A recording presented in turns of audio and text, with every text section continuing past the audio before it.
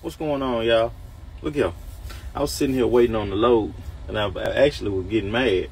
And um, something came to me, and I want to share it with y'all. I was sitting here, I was mad, and I was thinking, man, I'm trying to start a production company and get my content out. And I had this, I guess, it, I won't say God spoke to me, but I was thinking to myself, all the time that we spend being upset about where we at and complaining about we don't have time to follow our dreams. And I'm, I was sitting here and I'm thinking, I'm like, man, while I'm wasting time being upset because I'm waiting on a load, I could be in here doing videos. I could be in here writing scripts for the next show.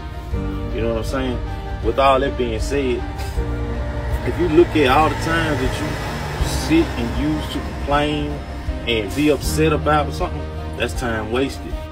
And the moments that you waste turns into hours, and hour turns into days, and then you'll look up, it'll be years, and you'll be like, man, I never had time to do what I wanted to do. When you really did, it's just you didn't make the most of the moments. So make sure you make the most of each and every moment that you get. No matter if it's a minute or it's a second. I made the most of this moment. And it only took me like a minute and 30 seconds. So good afternoon to y'all. And those of you who are not up yet, and you already late because all the hustlers are already up. So y'all take it easy.